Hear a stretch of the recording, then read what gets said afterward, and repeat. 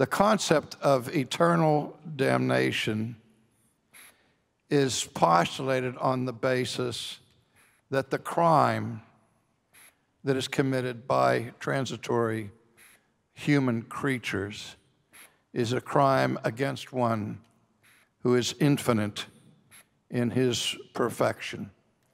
And in fact, I'm saying that there is a, a almost ontological cosmic impossibility for justice ever to prevail, even in hell, because eternity is not long enough to satisfy the heinousness of the crime that I have committed against my Creator and against my God, who is infinitely perfect in every way.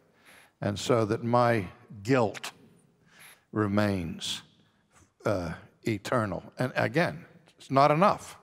That's the big problem is how can, how can a eternal punishment in hell be enough to balance the scales of justice?